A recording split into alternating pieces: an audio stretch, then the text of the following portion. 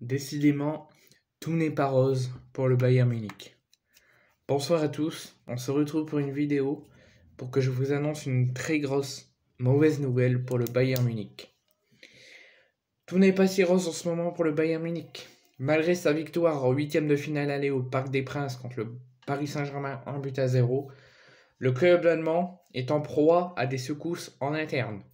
Au niveau sportif, malgré une récente défaite juste après la victoire contre le PSG, contre le Borussia Mönchengladbach, le week-end dernier, contre euh, le Borussia Mönchengladbach, 3 buts à 2, où le Bayern a très mal joué. Le vestiaire est désuni et les résultats de championnat ne sont pas si probants, même si ça reste stable. Donc au niveau sportif, c'est pas excellent, mais c'est stable. Malgré la mauvaise performance contre le Borussia Mönchengladbach et la défaite. Cette rencontre a été émaillée par plusieurs incidents, cette fois-ci pas en tribune, mais sur le terrain. Ça avait fait émailler plusieurs incidents et ça avait fait exploser notamment le coach bavarois Julian Nagelsmann, 35 ans, qui a critiqué fortement l'homme au sifflet notamment sur plusieurs décisions arbitrales. Ce qui lui a valu une ouverture d'une enquête de la part de la DFB, la fédération allemande.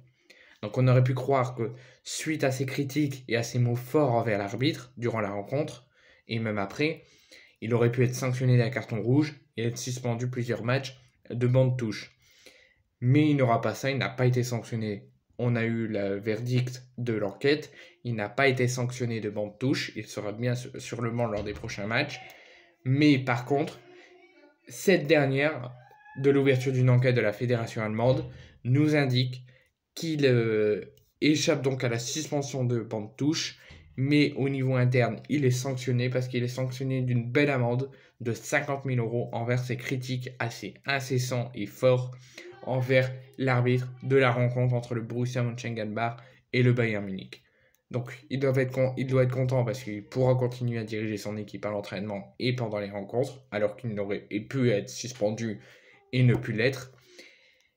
Mais par contre, il va avoir une belle amende à payer suite à ses, à ses bêtises lors de cette rencontre envers l'arbitre.